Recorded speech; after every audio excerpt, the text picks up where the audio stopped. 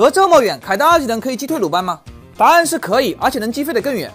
那么背向鲁班，这个时候还能击退吗？答案是也行，只要你的前方有墙体，那么一样可以击退。再看下一个，当凯和目标重叠以后，还能击退吗？很明显，答案是不行。凯在很多人的眼里，他是一个简单粗暴的英雄，但实际上这是很多新手玩凯最容易陷入的一个误区。光是一个二技能的击退效果，就有三种不同的处理细节，所以简单粗暴的玩凯是成不了爹的。但是不要慌，给我两分钟，带你了解凯的七个细节和技巧，让你的凯粗中有细，从此以后成为凯爹。第一点，凯在开大以后会获得最高一百三十点伤害格挡，每次受到伤害以后会直接免掉一百三，而伤害低于一百三的，不管对面打你多少次，都是一滴血都不会掉。所以在对付一些单次伤害少，但是攻击次数多的，你像是嬴政、蒙犽，你选凯会有奇效。像这一把 KPL 二 W 侠对阵 TTG 的时候，小叶就选出了凯去打敌方的蒙犽和嬴政，这个效果也是出奇的好。凯拿下三连决胜以后，甚至还直接猛到高地拿下了四杀。所以很多时候咱们总觉得对面的凯为什么那么肉，但自己玩的时候却脆得跟纸一样。这就是选凯的时机选错了，敌方全是单次爆发伤害，凯的格挡不就废了吗？第二点也是和坦度相关，凯的一技能约等于半个治疗，并且只需要三秒一次，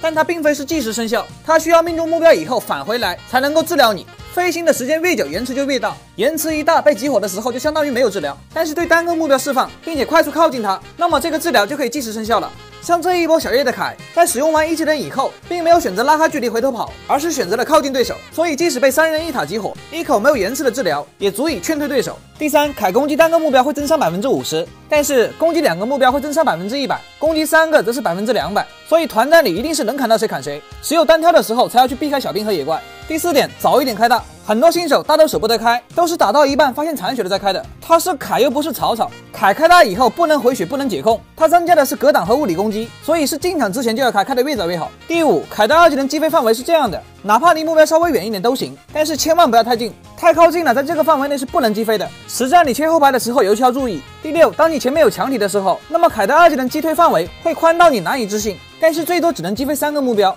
第七，提前存上一发二技能，再利用二技能强化普攻过墙，这个技巧会让你的凯变得比韩信还灵活。最后附上一套本赛季打野凯胜率最高的出装和铭文，兄弟们赶紧拿去上分吧！